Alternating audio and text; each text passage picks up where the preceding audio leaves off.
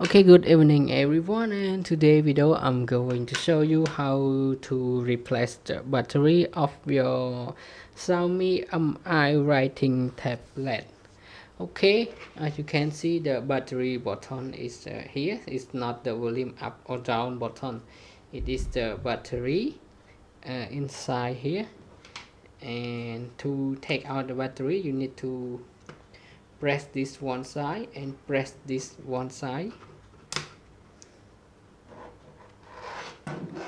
Okay it's just a bit harder. So you need to make make your nail. So you need to make your nail like this. And then just take it out. As my nail is uh, short so a little bit difficult to take it out.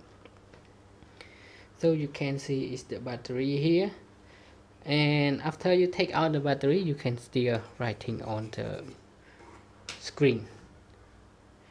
And but you cannot uh, delete the screen. Because the battery is control the delete delete button.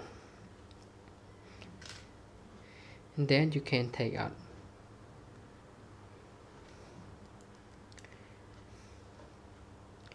And input the new battery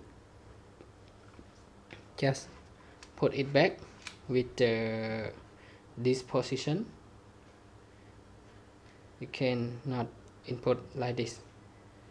So make sure that your screen is above and your battery location like this and input it back.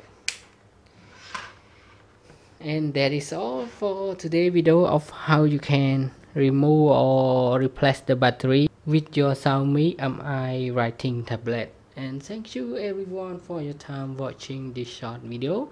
And I hope to see you again in the next video. Bye bye and have a nice day